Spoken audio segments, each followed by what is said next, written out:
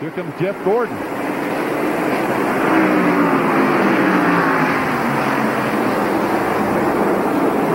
Gordon inside of Elliott. Look at him working that wheel. Sawing at it. Yeah, it's still slick out there. They're still doing some sliding as they try to accelerate off these tight turns. Gordon, of course, the leader in rookie points.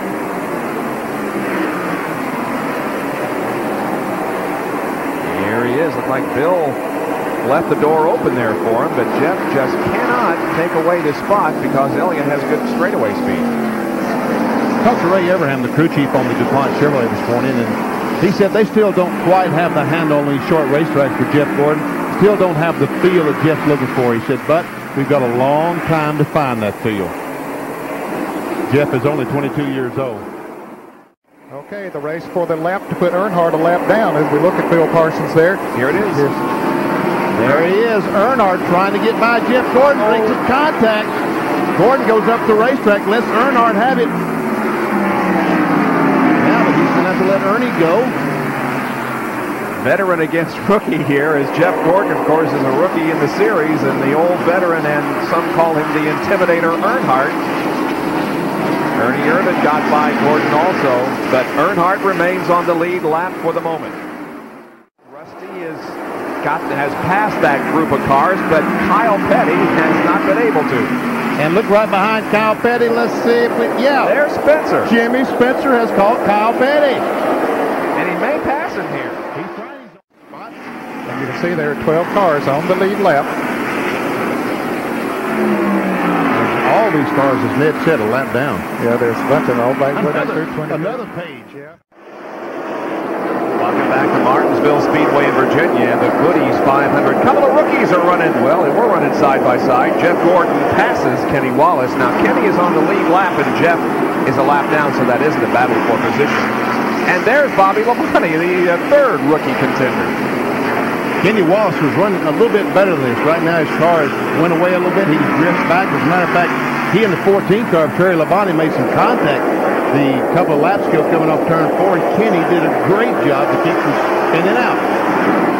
Speaking of rookie points, here they are. Jeff Gordon leads by 51 over Labonte. Kenny Wallace is third, and P.J. Jones also uh, has signed up for the rookie program, but runs limited events, and he has only 62 points. So Jeff Gordon appears to be on his way to the Rookie of the Year title for 1993.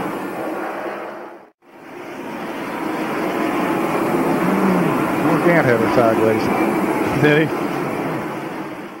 Last year we had such a rash of problems with these axles. Jeff Gordon now alongside of Geoff Bodine. I think he might have uh, got, got a little high. Let's look at it as he comes off of turn two over here the, the last time around. There he is down on the inside. There's uh, Kenny Wallace. Bumps him just a little bit and gets Gordon very high. And Morgan Shepherd goes under him. And here comes Terry Labonte and Geoff Bodine running side by side.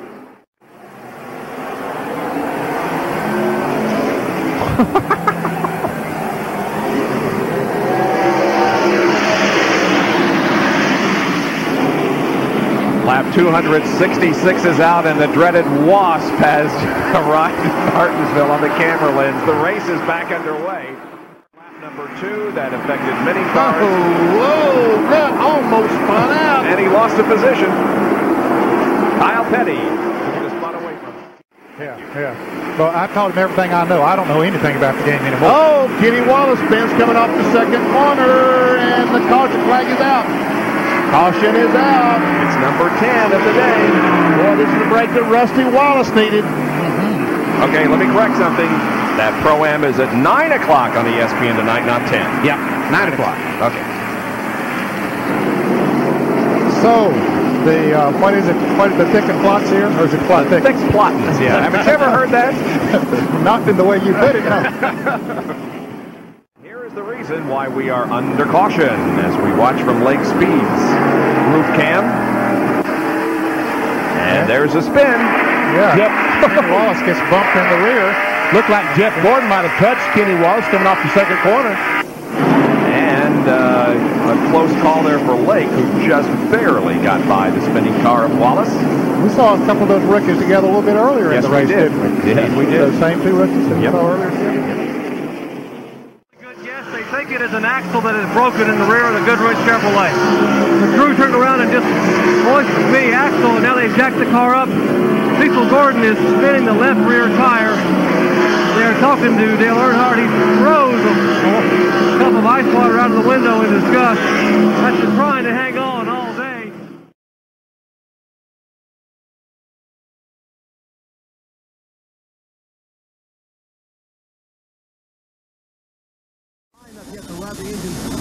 for a green flag start, so you give them an extra lap, and we'll get green this time by. Bob? Yes, the pace car is pulling off of the racetrack, and we're set to go for 400 laps here at North Wilkesboro and the Tyson Holly Farms 400. The green is out.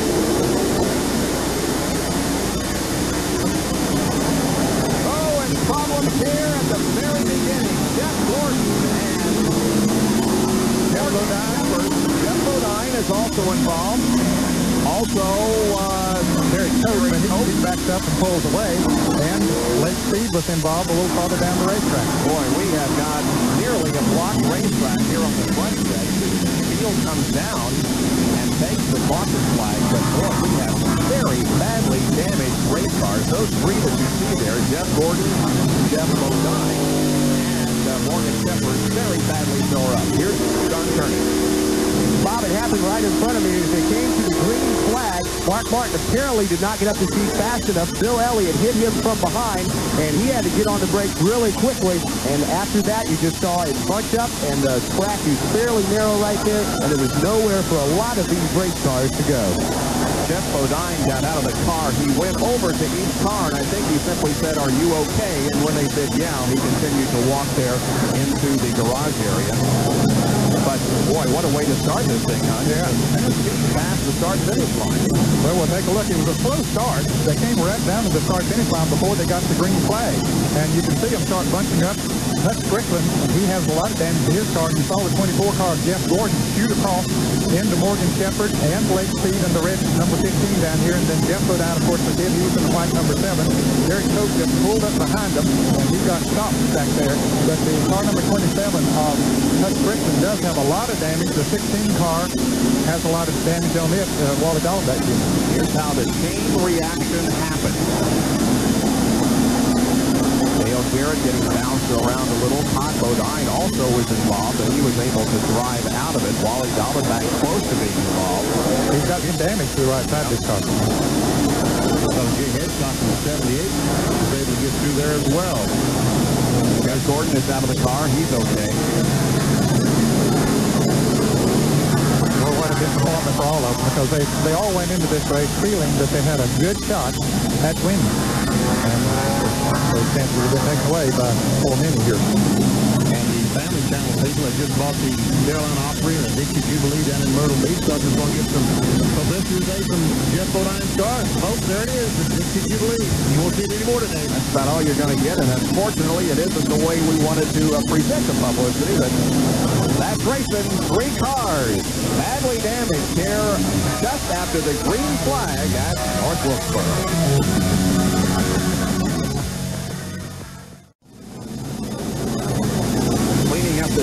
Here just past the start-finish line as three cars, Jeff Gordon, Geoff Bodine, and Morgan Shepherd were involved. There goes Jeff Gordon's car back through the garage area. Something strange here. See Jeff Gordon go down there. Watch the replay. We see that Bill Elliott is the guy in the Budweiser Ford that did not get a particularly good start. If we roll the tape, you'll see that the red car does not start very well. Dale Earnhardt hits him in the back. Schrader hits both uh, Earnhardt, and, and we see Schrader's car get almost turned sideways by the 27 car. And look how far down the track Rusty Wallace, he saw what was happening there. He drove completely out of the way of it. Wanted to get out of there as quickly as possible so that he would be involved. But there are the cars spinning and hitting the wall. You saw Morgan Shepherd how he rolled into Jeff Gordon once Jeff's car was turned sideways. Here is the way it looked from his perspective. from Lake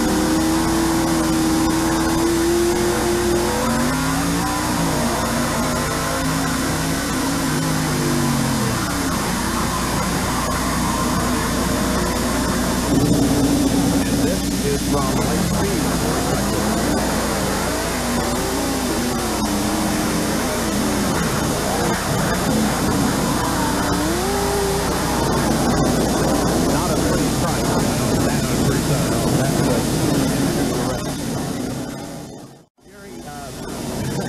Gordon's crew has got a lot of work to do. It looks like some of the framing's bent. The whole front end is off of the car right now. They pulled up their parts truck. And Jeff, I tell you what, North Wilkesboro has not been good to you in your rookie season. No, it sure hasn't. It's probably been the, the, the hardest place for us to get around this year. Uh, just having horrible luck here. I mean, I can't believe that this happened on the first lap, you know, and just, I don't know what happened. I was just getting up to speed and they all stopped in front of me. Now we look at all the work your crew's got to do, but uh, it's important for you to get back out there and complete as many laps as you can. Well, as many cars that got, uh, you know, a bad end of this deal, we got to try to get out there. We can, we pick up a lot of positions in something like this by just getting back out there, but I tell you, my car's tore up pretty bad. Yeah, it looks like they're going to be in here for quite some time working on Jeff Gordon's car. There we see the Kodak pit box alongside the Jeff Gordon pit box. You know, North Wilkesboro only has 33 pits, and we started 34 cars. So the four car, uh, Jeff Purvis and Rick Wilson, the 44 car, were sharing a pit. Now, Jeff Gordon has had trouble. He's in the garage here. They have assigned the four car his pit. They had to move all their stuff from up in turn four almost all the way down in turn one. But believe me, they were glad to do it to get a pit of the very own. That's a sure one this summer. There's Darrell Waltrip listed in 26th position, three laps down. The rest of the field, Jeff Gordon remains behind the wall, as is Morgan Shepherd, both involved in that early race incident. So another caution comes out, our fourth of the day, uh, coming up on lap 188. Doesn't look like Purvis can get his car started. Doesn't look like it. Meanwhile, there's Morgan Shepherd, the Central Ford. He was one of the cars involved in that very first lap crash. And by the way, Jeff Gordon, who was also involved in the back out the racetrack. Running a modified. And lead the most laps our. He would gain 15 points. John Kernan, in his opening remarks, indicated how important it is to stay out there because the attrition has been very low in the recent races. Even though we had that massive pileup here on the straightaway just after the green flag dropped, only one car is officially out of the race. That would be the number 44 car of Rick Wilson. Everybody else is still out there completing laps. Not modify, but they're out there. That's right. He's down towards the fence.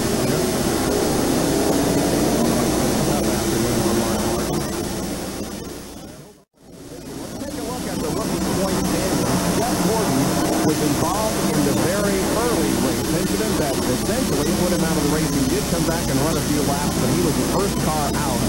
He'll have 251 after this event. Bobby Labonte running 11th at 199 now, I should say. And Kenny Wallace, currently running in 27th position, he has 183. NASCAR uh, Winston Cup.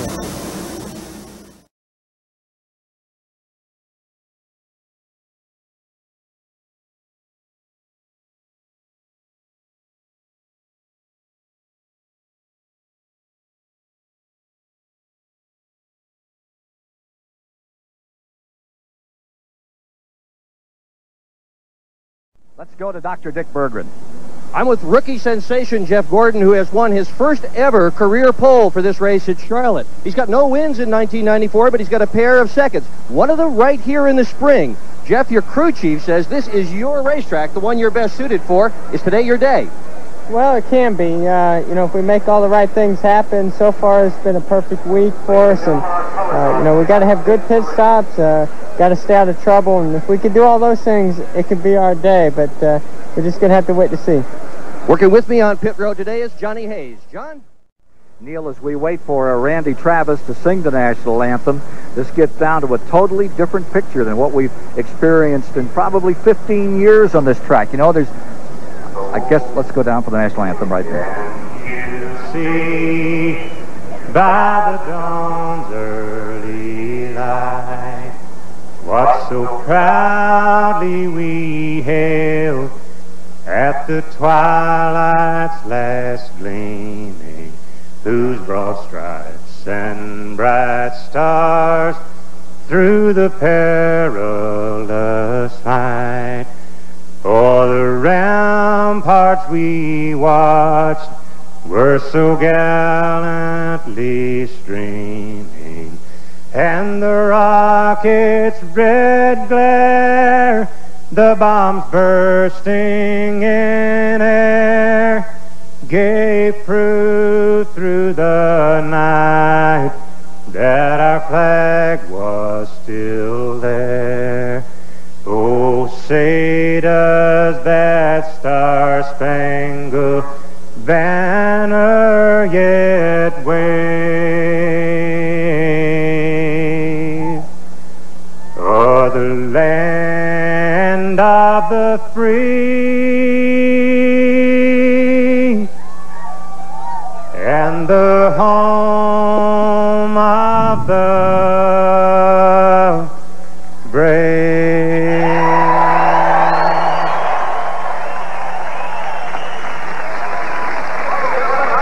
beautiful version of the national anthem from Randy Travis as we get set for racing in Charlotte, North Carolina.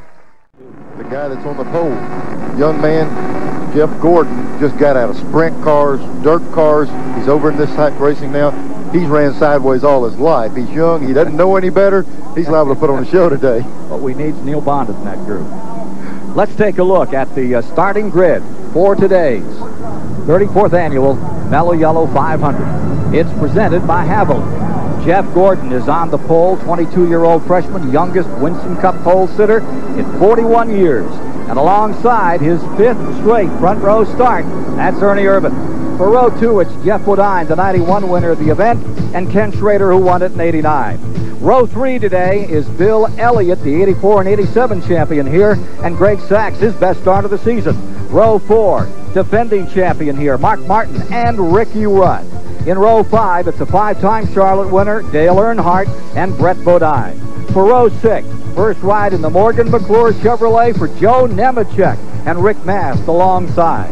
In row seven, Harry Gantz there won this race in 82 from the pole, last man to do it. Derek Cope, the former winner of the Daytona 500 in row seven. Row eight, Jimmy Spencer. He had a fourth place here one year back in his first ride for Bobby Allison and Morgan Shepherd. Row nine is Todd Bodine, the third brother in that Bodine clan from Chemung, New York, and Rick Wilson taking one of his final rides in the Petty Pontiac. In row 10 today, it's Rich Bickle, short track ace from Wisconsin, and Michael Waltrip. In row 11, Rusty Wallace is there, and alongside the 84 Winston Cup champion, Terry Labonte. For row 12, Hut Stricklin and the six-time Charlotte winner, Darrell Waltrip. Row 13 is Andy Hillenberg, that sprint car star from Indiana, and Ted Musgrave. Row 14 is Dick Trickle and Bobby Hamilton. Row 15 is Jim Sauter and Jeremy Mayfield. Row 16 today is Kyle Petty, who finished third here last year, and Jerry O'Neill. In row 17, Wally Dallenbach and Sterling Marlin. For row 18, it's Mike Wallace and Lake Speed. In row 19, Bobby Hillin and Dale Jarrett with his worst start all year back in 38th spot. Row 20 is Chad Little and John Andretti making his second Winston Cup start. Provisional starters, Bobby Labonte starts 41st on the inside of row 21, and Kenny Wallace rounds out the Havoline starting grid. 300-point lead back at the end of August. On board with Darrell Waltrip as he gets set to sail in the Western Auto car number 17 this afternoon. Here's Bobby Hillin taking a look up through the field from car number 90 as he gets set for a go. And there's Derek Cope ready for action this afternoon. Pace car bringing the field down, getting set for a start. Randy Travis to drop the green over the field today. Mellow Yellow and Coca-Cola talking about a 10-year deal with the Charlotte Motor Speedway. Not talking about it. They signed the deal today. They're going to be here for some time to come. Here comes the field. Rolling down for a start. Gordon getting a bit of a break. And he's away. In front for just a moment. Ernie Irvan right back. Look at this battle continue for second. What a story on Kyle from 31st. He's up to 17th in that uh, car 42 Pontiac. Look at this war. On the inside, Gordon, the pole sitter, right alongside Dale Earnhardt. Watching Bill Elliott a while ago, he moved up higher on the racetrack in three and four, and it seemed to be fast for him. A couple of laps ago, Earnhardt moves up to try it. Looks like it looks like Gordon can get under him when he gets high.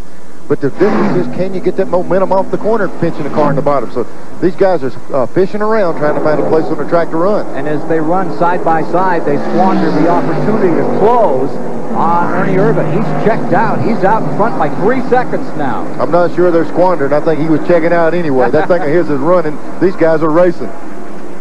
Still side by side, back straightaway, but it's awfully early to be links up in a war like this for the moment. Gordon, here comes Earnhardt right back on the inside. Dynamite racing at lap, let's see, coming up 21. Well, you just said it, Ken. The name of the game is racing. It's not ride. And the racing we do nowadays in Winston Cup, you race from the time they drop that green flag to the checker. These guys are running just as hard as if we're the end of the race. All these rule changes as you watch Earnhardt on the bottom of the racetrack. Gordon alongside. Gordon goes back into second spot. Boy, for an early race battle, we've got a dandy, and it's Jeff Gordon. Once again, taking that high road. Here comes Earnhardt, rolling back on the inside as they come out of turn number four. He settles in behind for a moment. Here's Jeff Gordon running second. Here's Dick Berggren. There's trouble with the 24 car, Ken Squier. In fact, there's double trouble with the 24. One of the problems that they're having, their radio is not working properly. Gordon is unable to talk to his crew, although his crew can talk to him. Now, the crew just asked him a couple of laps ago, when you come by, if it's loose, wave. And we saw a frantic wave through the window. Before the radio went out, Gordon was complaining on nearly every lap. The car is getting looser and looser in the corners. Gordon brings the DuPont Lumina down pit road. Critical stop here. See if he can do any better than what we saw accomplished a moment ago by Ernie Irvan. This is a young team right here. Young driver, the whole team is young. And I tell you, they get the job done. We'll see what they do with this stop. Gordon mentioned when we interviewed him, he said it's critical our pit stop. Okay, there they go. They're putting some bite in his car, backing off that right rear. That's some more bite in the left rear. So he's a tick loose. They're trying to fix some of that. Good stop. 20.2. Right in there. But still, the man dominating the event, or the team dominating the event, is that car number 28. We're still in the midst of pit stops as we get through lap 64 of the 330. Coming down pit road, Jeff Gordon in car number 24. Leaders starting to come in. They're all coming in early. They're not going long runs like we thought they would. Tim beating the rear spoiler up. That guy holding the gas can taking his right hand and knocking that rear spoiler up, trying to nail the back of that car down a little bit more. Well, he got one out of line. That, that center section, you want to keep it even across through there. If any of those point leaders have trouble, Neil, in this race, with all of these cars still running, is going to be a remarkable change in the Earlier this week, U.S. Air Force Reserve Commander's Performance Award was given by Lieutenant Colonel Ron Hall Hello, to Jeff Gordon. Hi, racing fans. This is Lieutenant Colonel Ron Hall presenting another Air Force Reserve Commander's Performance Award. But before I do, I wish to say that because of budget restraints, I regret that this will be the Air Force Reserve's last presentation. From the depth of my heart, I wish to thank Ken Squier and his staff and all you racing fans out there for what has been a tremendous seven years for me and 10 years for the Air Force Reserve. Now for today's events, with me today to receive the Commander's Performance Award is Mr. Jeff Gordon. Uh, Jeff, congratulations on your winning the pole for the Mellow Yellow 500. Jeff, this award is very special for the Air Force Reserve because it recognizes individuals who have exceptional leadership and talent while participating in a team sport. Jeff started racing at the age of five. He's come up through the midget circuit into the Grand Nationals. Now he's in the Winston Cup. Jeff, the Air Force Reserve is excited about your future. Please accept this award on behalf of the Air Force Reserve. I'd just like to thank uh, the Air Force uh, for their involvement in racing. Uh, I think it's very exciting. I'm very honored and very proud to receive this award. Thank you. Good recipient, Jeff Gordon, running fourth at the present time, set on the pole at 177 miles an hour, the 22-year-old from Pittsboro, Indiana. He's just behind Ernie Irvan, Dale Earnhardt, and Mark Martin. Pretty good company for a kid from Indiana these days. Hoosier now out of uh, Indiana, originally California lad. Looking further back there, you've got Jeff Gordon in fourth place on Colson, having a very good day. Bobby Labonte's been closing on him in that rookie battle, Neil, but uh, right now it's dramatically the other way. Bobby Labonte's back in 33rd. It's the first Mellow Yellow 500 he's ever ran. Got a quite a run going. Just trails by six seconds to the leader right now. Jeff Gordon down pit road just as we're talking about this. The 24 car just turned into the pits. Fourth place. The sun has popped back out. Spencer's coming in behind him also. The sun's out again. It's going to change the complexion of this race. Spencer, seventh place on pit road. Meineke car and the DuPont car both in. Looks like the lemming instinct. They all come in here, follow each other right onto pit road. Once the word was out that Gordon's in, now you've got the 68, Greg Sacks pulling onto pit road. 14 car, the 1, the 44. Rick Wilson's in. You can't afford to stay out there on old tires. One of the drivers we've been watching has been Jeff Gordon in car number 24. Now, Gordon picked up his first pole position of his Winston Cup career here this weekend, and he did it with a slightly different motor. Rick Hendrick, the team owner, asked that a B&R engine shop motor be put in the car for qualifying. Normally, the Hendrick team builds their own engines for the Jeff Gordon operation. Well, the B&R motor went in there and took Gordon to the pole. They're racing, though, with a Hendrick Motorsports engine in the car today, racing very well. Jeff posted in fourth position the last time we checked uh, a short time ago. Ernie Irvan. It's been a fantastic display by the Robert Yates team. They came out and with Irvan won their first race at Martinsville. They started at Darlington. It's amazing how they seem to have gelled. Sometimes the chemistry works in you. Yeah, that car has always been extremely fast. Ernie fitted right into the car. You must feel the presence of Davey Allison every moment out there, Ernie. Well, you know, he's in our memory, and he's um, we kind of uh, put him with the thought that he's just our teammate, and um, you know, everything we do, it's we always refer back to. Well, when we look at the notes, it's everything Davey said during a race or during practice, and a lot of those things are giving us hints and things to what we need to do. So that's why we uh, we really consider him. He's still our teammate. He's still with us, and always will be. Bill Elliott is 10th. Stay with us. Action more to come from Charlotte. Let's get more on the story on car 24. Well, Ken, they've got Jeff Gordon's radio fixed now from earlier today, and he has been giving them an absolute earful about the car. He says it's loose, loose, loose. A few laps ago, he radioed to the crew and said, I just about lost it in turn three and four. Rick Hendrick, they've been adjusting this car all day. Can they tighten up enough so you can eat up Ernie Irvan? That's a pretty tall order, to eat up Ernie Irvan today, but, you know, when the sun was in, we were pretty close. Now, sun back out, we need to tighten him up. Think we can hold our own with anybody but the 28. The 28 seems to be kind of in a class by himself. Here's Harry Gant that gave it such a great run in the early going, but the 33 is backed up. He's in 13th position, two laps back. Gant in the green and white colors.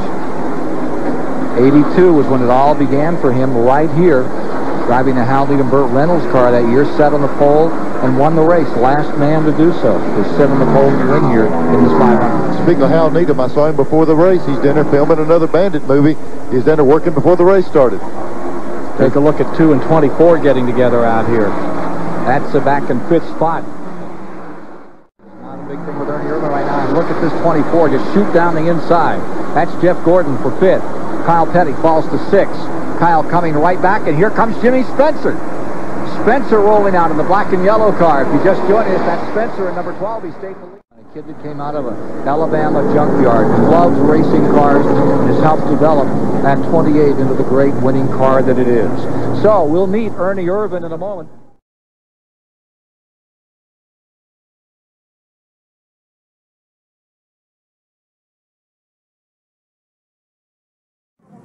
Most important jobs in all of racing is the gas man. He must get every drop of fuel in this car every time it stops because a lot of times the pint of fuel makes a difference in whether you win or lose. It's also one of the most dangerous jobs you can have. What in the world made you decide to be a gas man? Right, just the pressure, buddy. making sure that uh, the car gets full. All the guys can depend on me to fill the car. There are 40 guys out here, and every one of them wants to have a gas man just like this guy. It depends on whether you win or lose, what he does. Pit stop. If you can tell us what's wrong with this picture, you could win a trip to the Daytona 500. Look close. One thing about it, Gant wrecks in the corner. He hasn't got near as far to go as the rest of them. Before he hits the wall, he gets up there and flirts with that thing all the time. That's why Richard Petty always used to say he ran that real high line at Daytona. Because if something happens, there's ain't far to go. Yeah, but you get there just the same amount of speed. right.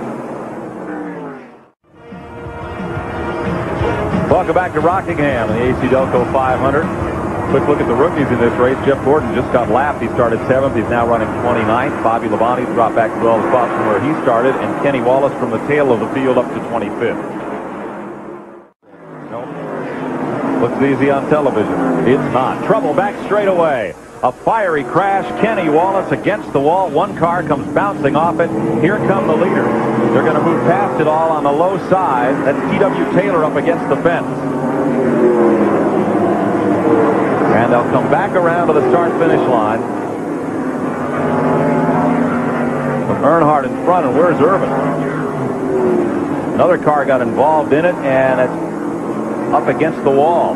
72, it looks like, up on the wall. That it is, John Andretti at turn three.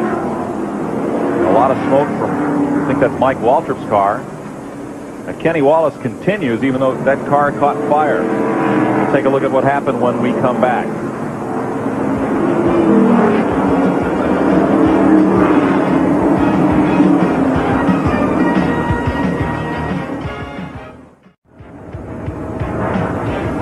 Cleanup underway. That's the back straightaway where T.W. Taylor's car is parked. John Andretti's car is against the wall at turn number three. And there were other cars that sustained damage. In this, the sixth caution flag of the day. See if we can pick up what happens here, buddy, coming off turn two. Oh, there's car sideways already. That's Taylor. Looks like he just lost it down there, right up in front of Whoa. everyone. You talk about threading a needle. Kenny Wallace that's the Andretti car. Looks like it hit, excuse me, he tore the right front wheel off. 26 car ran over some debris. And here comes a lot of the lead cars. There's Elliott, the 28. Top of your screen. Yeah, he just lost control coming out of the corner and he backed it over there. And in that smoke, you really can't see anything. They're just driving where they think he won't be. That Andretti car ripped the entire suspension off. Not only that, it, it tore the brakes off the car. And you see on the left side of your screen, he keeps going. Look at Irvan way up high trying to snake down in there, and he just sneaks in in front of Mark Martin. A lot of lead cars there. Dodged a bullet on that one. Neil, one thing, when you come in there like that, you hope everybody's slowing down. A lot of times the car behind you will knock you right into it, even though you're making an evasive move. That's when those spotters are worth their pace on top of this building, telling you to shut it down. It's clogged completely up. 26 car that we saw run over some debris coming back into the pits. He'd already been in once. Must have ran over something. Mike Waltrip also got a, just a little piece of Taylor's car on the right front as he went past. There's a 26 car that looks like we saw him run over a big piece of trash or debris. And they're looking to see what kind of damage he has under the car. The car jumped up when he ran over it, so no telling what it is. Let's try to get a word with Mark Martin, buddy. Okay, Mark, this is Buddy Baker at TNN. That thing looks like it's really greasy out there today, is it? Seems like the track's gotten really loose, uh, a lot more loose than most of us expected.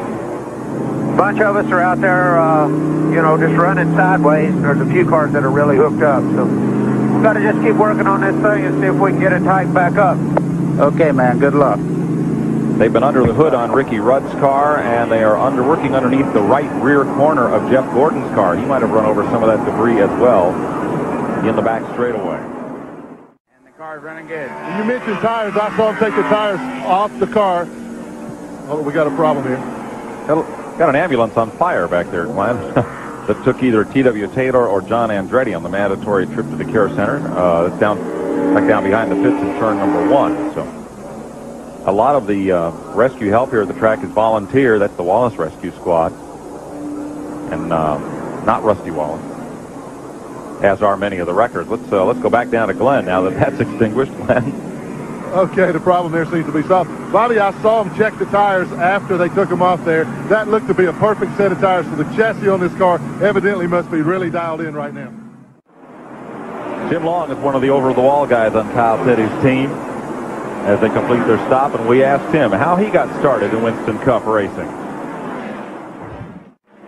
Todd Bodine makes a pit stop, and as we watch Darrell Waltrip, former CRA sprint champ and sometimes Winston Cup driver Brad Noffsinger was asked about his duties as Waltrip spotter. Uh, during the week, I work as a fabricator in the shop. At the racetrack, I help Barry and the crew uh, get the car ready for each session and then clock Darrell in time sessions and uh, let him know if we need to pick up time in the corners or down the straightaways, you know, whether, you know, whether we're running all right against the other guys. And uh, let me correct that this battle is for position. Jeff Gordon and Bobby Labonte, they just changed spots a moment ago, and now scoring is showing that those two cars are on the same lap, vying for Rookie of the Race honors. You see that Jeff Gordon leads in the Max Race Car rookie points.